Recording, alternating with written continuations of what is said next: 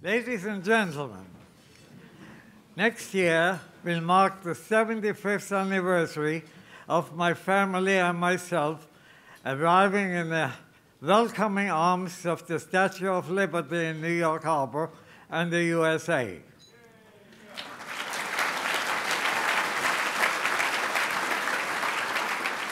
It only took three years before I was able to show my gratitude and my patriotism by, by joining the long crowd of volunteers at the Army recruiting station.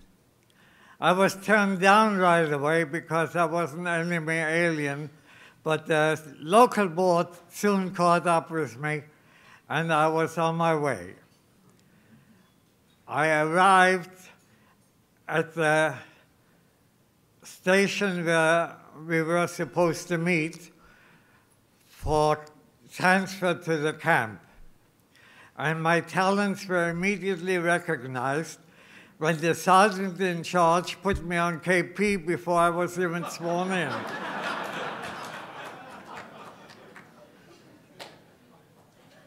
I survived basic training and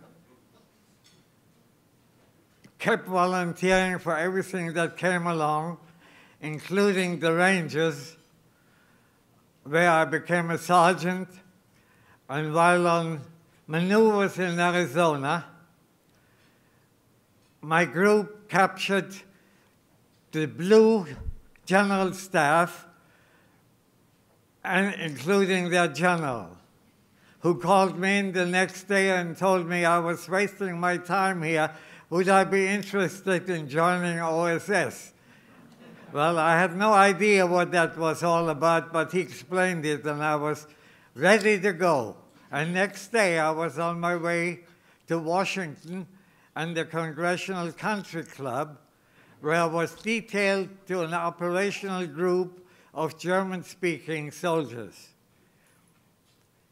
We were trained in parachuting, underwater demolition, hand to hand combat, and you name it. And we finally headed for North Africa, but no action. We headed to Italy, still no action. So five of us decided we go to Allied headquarters and speak to the commanding officer of OSS, Lieutenant Colonel Howard Chapin, who immediately accepted our offer. We were sent to Bari for further training, and Lieutenant Lowenstein was one of the best instructors we had, who primed me in the German order of battle. All the rest I could have figured out by myself.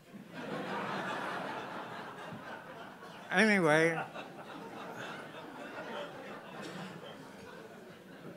we finally got my our assignment, even though I was born in a black forest where I said I know my way around, I decided, well, I needed somebody to explain why trains were headed down to Italy when the bridges were out.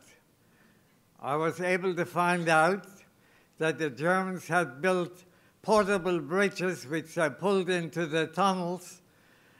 And at the same time, I found out that 26 trains were headed for Italy with resupply for the German army in northern Italy it was, I, I cabled that in, and all trains were destroyed, destroyed by our Air Force the next day. Having done that, I figured anything else that would come along would be child's play. and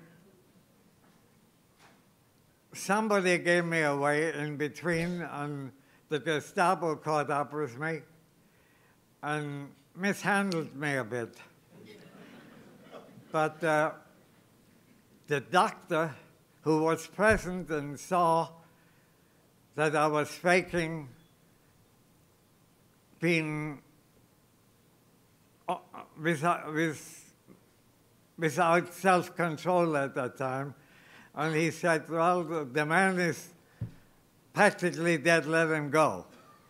And he's the one who was a good friend of the governor and decided he was going to introduce me to him. Well, I was able to convince him that I would treat him as a PW, he and his staff, if he would surrender Innsbruck without any defense. Of course, you can imagine how much fright I had to do that being a sergeant. Anyway, he accepted the, the details and went on the radio to, tell, to make Innsbruck an open city. And I drove through the lines to contact the G2 of the 103rd Division and brought him back with me to Hofer's, that was his name, headquarters, and say, signed his surrender. Having all that, General Donovan decided to recommend me for the Congressional Medal, which obviously I didn't get. But uh,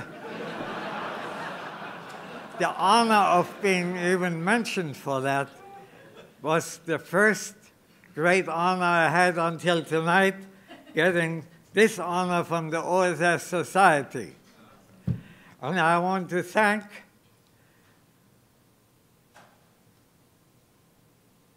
all the people who kept my name alive in writing.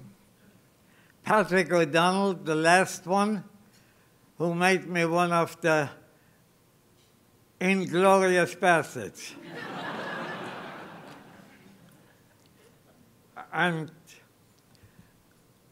at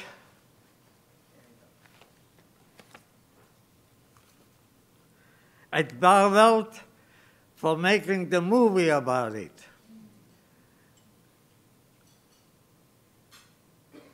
I can only thank everybody for coming here and honoring me as you have done. Thank you very much. Great. Thanks. Thank you.